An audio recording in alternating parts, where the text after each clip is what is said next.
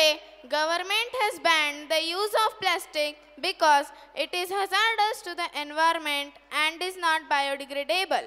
So, here are students of Espalier to present the plastic song which says no to plastic.